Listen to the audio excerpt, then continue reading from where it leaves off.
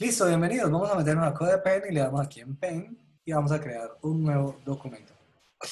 La clase pasada lo hicimos con radios, con input radios, pero también alcanzamos a ver en una clase una cosa llamada select, que si yo le doy mayor que, le puedo poner select, le puedo poner option. Y en vez de poner un solo option, como aparece aquí en el dibujito, le podemos poner un, asterisco, o sea, un por 3. ¿Listo? O un por 4. Y le doy tab, o le doy enter, creo. Entonces acá eh, yo le voy a poner un, le puedo poner un solo nombre, pero en este caso no lo voy a dejar nada. Vamos a ver si es necesario, ahorita lo pongo. El que sí quiero ponerle es el ID, un, algo que lo reconozca. Entonces, eh, seleccionador animal, no, muy largo, muy largo. Cell animal, cell animal, así lo voy a llamar. Y entonces, le voy a poner aquí unos, unos animalitos perrito. Y no sé, cucaracha y cosas feas que me ocurren. Cucaracha. Y así, más cosas feas que se me ocurran. Carol Quinte. Ah, no, eh, mentira. Esto vamos a poner aquí. Esto, ratica de laboratorio. Laboratorio. Laboratorio. Listo. Y voilà, tenemos un cele donde yo selecciono cositas. Y entonces acá voy a crear Voy a eh, enseñarles a usar el jQuery, que creo que no se los ha usado, a, yo les he enseñado a usar. Entonces vamos a colocar settings y aquí vamos a agregar en JS a jQuery. Entonces aquí escribo jQuery.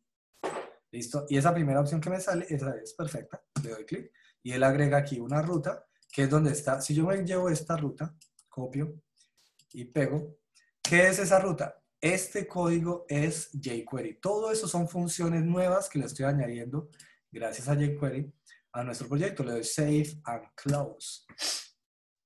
Y entonces, chachachón, ya tengo jQuery. Entonces yo le puedo poner aquí, por ejemplo, console y jQuery, ¿qué es? Es este cosito, signo pesos. Si yo no lo meto, estaría, o sea, sale un error, pero si lo, ya lo metí, entonces vienen aquí en la consola, me sale todo lo que significa jQuery jQuery es una función que tiene muchas cosas, pero después la vamos a ver. Listo. Entonces, eh, como ya tengo jQuery, jQuery lo utilizo así. Lo pongo y entre paréntesis coloco un objeto, un objeto al que yo voy a volver eh, con poderes. Es como, por ejemplo, yo coloco aquí algo que no tiene gracia, que no llama la atención. O sea, eh, por ejemplo, yo coloco aquí esto, Nicolás algo totalmente sin gracia. Entonces, eh, digamos que es un número. Y con jQuery, si yo pongo este elemento sin gracia absoluta y lo meto acá, Nicolás, entonces estoy convirtiendo a Nicolás en algo más poderoso, ¿listo? En algo más poderoso. Entonces, yo podría decir Nicolás sin poderes punto, no sé, si yo le digo volar, no podría. Dice, hey, Nicolás es muy inútil como para volar. O sea, estoy pues poniendo palabras para que me entiendan. Pero si yo hago esto, entonces ahora sí yo podría decirle, Nicolás, punto volar. Y ahora sí funcionaría. Ahora, eso es lo mismo que yo poner así. A ver, a ver, piénsenlo, piénsenlo. A ver, control Z. Esto que está acá. Ah, no, perdón, perdón, no es lo mismo todavía. Si yo pongo Nicolás es igual a un Nicolás perfeccionado. Entonces ahora yo le digo, Nicolás huele. O sea, el Nicolás perfeccionado, por favor, huele. Esto de acá es lo mismo que si yo eh, le pusiera volar directamente al Nicolás perfeccionado de esta forma. Mírenlo. Nicolás perfeccionado vuele. Control Z, control, control Z, Z. Es lo mismo que esto. Nicolás va a ser igual al Nicolás perfeccionado. Entonces ya ahora este Nicolás está perfeccionado. Este Nicolás perfeccionado, por favor, vuele. Bueno. No sé si me entendieron, pero bueno. Esto obviamente no funciona porque pues, no, es un ejemplo. De aquí voy a decirlo, oiga, eh, por favor, jQuery, coja al documento. Documento es toda la página, todo el HTML. Coja ese documento, por favor, y cuando esté listo, o sea, esta función, el, el documento no la tenía, ahora sí. Cuando el documento esté listo, quiero que ejecute una función. Yo sé, esto a la primera es muy enredadito, mucho código. A ver, pretendamos. El, primero el documento. Yo no puedo ponerlo así. Documento ready, o sea, cuando esté listo el documento. No, no porque documento no tiene el superpoder de llamar a una función llamada ready. Entonces, ahora sí, cuando lo pongo entre signo pesos, entonces le estoy diciendo, oiga, documento, póngase superpoderoso. Ahora que está superpoderoso, por favor, cuando esté listo, quiero que ejecute esta función que le voy a pasar. La función es un alert, digamos, un alert que diga hola. Entonces apenas cargue sale un mensaje, muy bien, hola. Él recargó la página y apenas se recargó, ejecutó esta función. Eso que yo les estoy explicando, Profe, ustedes me una lo van a pregunta, explicar ¿es en un necesario? ¿Sí? Ok. Esto, profe, una pregunta. Esto, ¿es necesario colocar el No se te entiende. ¿Colocar el qué? El ready, sí. El signo peso, sí. el jQuery? No, el jQuery. Sí, sí es, es necesario. Si yo aquí en settings no le pongo el jQuery, nada de eso me va a funcionar. Nada de eso me va a funcionar. Si yo le quito esto, entonces él va a decir, oiga, ¿qué rayos es este signo pesos? No sé qué es el signo pesos. Pero yo le pongo jQuery y ahora él ya sabe qué es el signo pesos.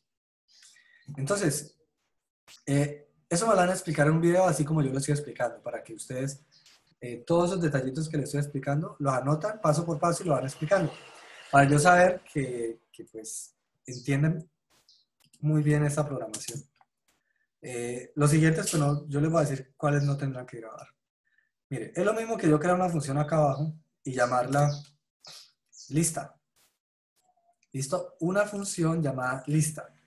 Esta función lo que hace es mandar un mensaje. Esto sí lo reconocen, ¿no? Esto, ustedes han hecho funciones desde hace mucho tiempo.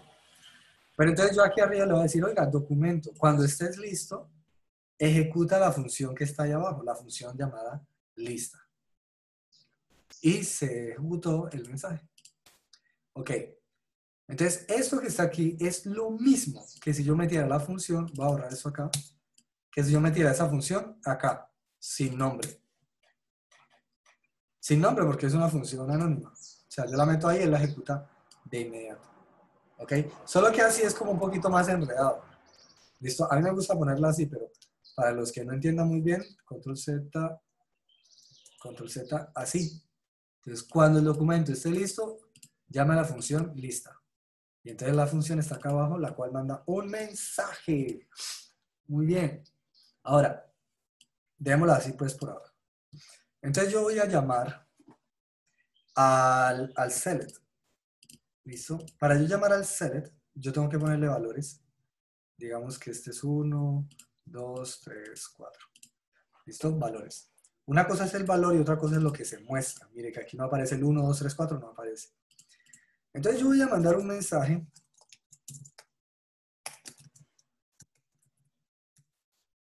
Algo. Y acá abajo lo vamos a ver. El mensaje en la consola. Ahí está. Algo. Ahora, yo voy a llamar sin jQuery. Regularmente nosotros hacíamos esto. Document.getElement by ID y llamábamos allá al cell animal. Eso lo metíamos en una variable, una constante tal vez. Eh, cell. Vamos a agrandar esto. Entonces, en cell voy a meter lo que está en cell animal. O sea, todo este select lo estoy llamando, lo estoy trayendo, get, lo estoy atrayendo y lo meto en cell.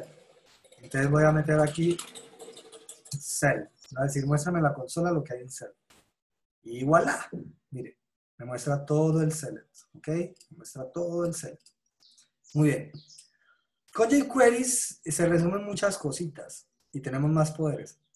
Eh, yo puedo hacerlo un poquitín más sencillo y es simplemente poniendo el jQuery, o sea, el signo dólar, signo pesos, Y aquí, pues él no sabe si es un ID o es una clase o es un, entonces, o es una etiqueta, entonces yo tengo que ponerle acá.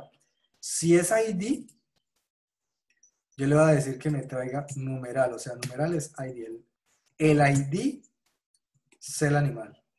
Y entonces él me trae y lo mete en cel y lo muestra.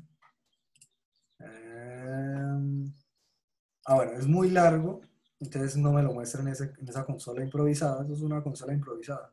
La verdadera consola, pues está acá. Y mírela ahí.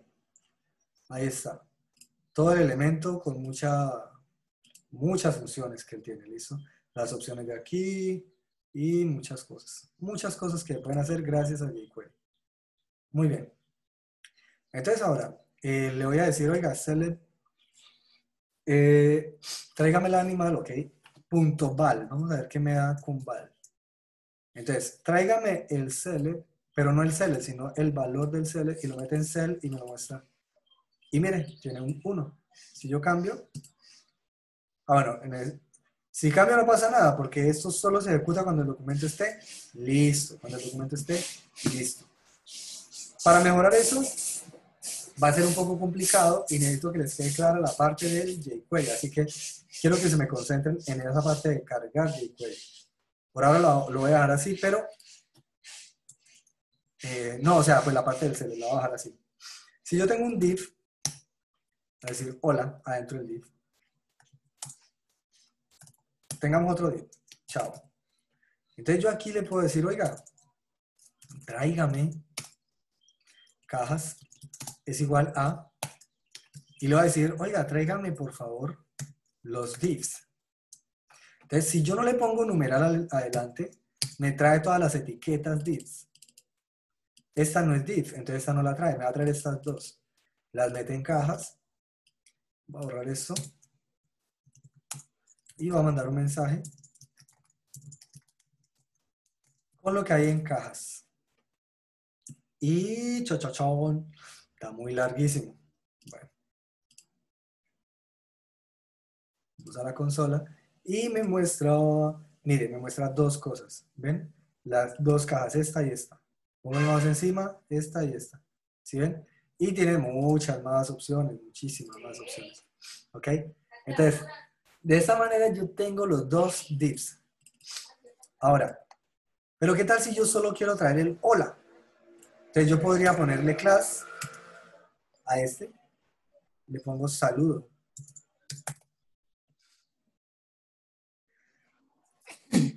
Perdón. Entonces aquí en vez de div, yo quiero que me traiga lo que tenga clase. La clase es con punto. El ID es con numeral. Las etiquetas son sin nada. Entonces pongo saludo. Saludo no, porque me estaría buscando. ¿Esa es saludo? No. ¿Esa saludo? No. ¿Esa saludo? Tampoco. Tengo que ponerle. Entonces él va a buscar. ¿Esta cosa tiene una clase llamada saludo? Sí. Entonces me trae todo ese elemento y lo mete acá. ¿Esta cosa tiene una clase llamada saludo? No. ¿Esta cosa tiene una clase llamada saludo? No. Entonces solo me trae esta. Y veamos, chachachón.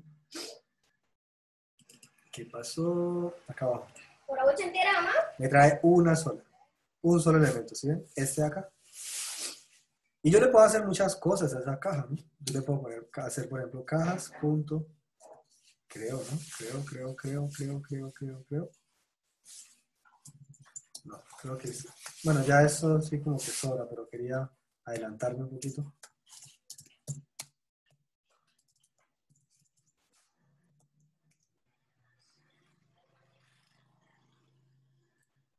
Bueno, démoslo así mejor por ahora.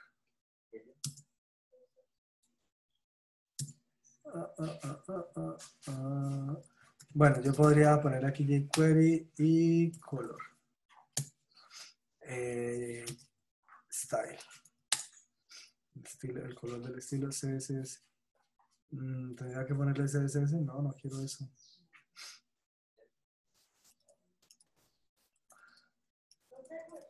Bueno, parece que sí. Cha, cha, cha.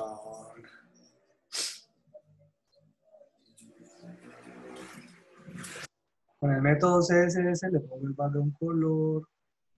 Ajá. Entonces, yo tengo que ponerle aquí CSS y entre paréntesis, es una función, le pongo qué propiedad quiero cambiar, la propiedad color, coma, qué, propiedad qué valor le quiero poner a la propiedad blue. Entonces a cajas, a todas las cajas que yo encuentre, le pone azul, mire. Si yo le digo, no, venga, no a saludos, sino a todos los divs, entonces me coge todos los divs y los pone azules. Bien, y así puedo hacer muchas más cosas. Bueno, esa es la explicación por ahora de cómo iniciar con jQuery. jQuery. Obviamente vamos a ver muchas cosas, muchas, muchas más. Entonces, aquí llamo a, doc- a la función cuando el documento esté listo. ¿Y la función qué hace? Bueno, me trae el seleccionador, el valor del select, pues, y me trae las cajas y les cambia el color por azul. Bien, bien, bien, eso es todo. Entonces me hacen el favor y me graban este video, me graban, o sea, estudien esto y empiezan y graban y explican, así como yo he grabado esta clase. Y ya. Eh, cha, cha, cha.